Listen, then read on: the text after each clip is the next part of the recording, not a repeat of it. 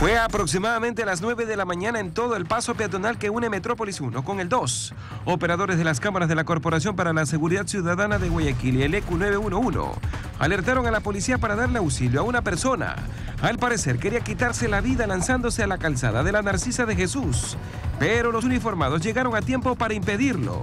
Al tener la respectiva colaboración, lo llevaron al UPC de las Orquídeas. La policía inmediatamente le brindó ayuda, se le colaboró para que se, tome un baño, se habló con él, se le dio alimentación, pero obviamente nosotros no podemos retener a una persona, eh, es mayor de edad. Él tomó sus cabales y manifestó que ya eh, deseaba retirarse del lugar.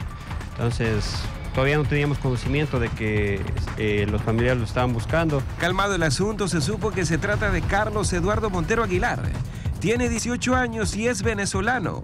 Desde el sábado no regresa a casa y su padre junto a la hermana lo están buscando por todo Guayaquil, hasta cuando lo vieron en el video del paso elevado. Inmediatamente fueron al sitio para dar con su paradero, pues están sorprendidos por lo que intentó hacer.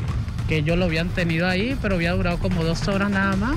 Le habían dado comida, según dicen ellos, volvió en sí y ellos lo dejaron ir. Le pidieron un número de teléfono familiar y no les dio.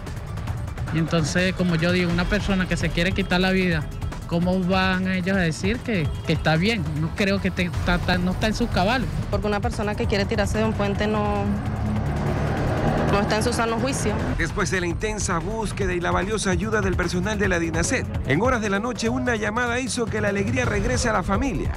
Carlos apareció y el encuentro debía darse en el UPC de las calles García Vilés.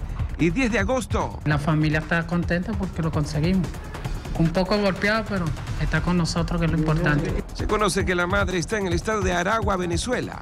Está reuniendo dinero para encontrarse con la familia y verse con su hijo. Ellos dicen que la situación económica la tienen en contra, pero con fe y esperanza estarán juntos como familia. Alex Vargas, 24 horas.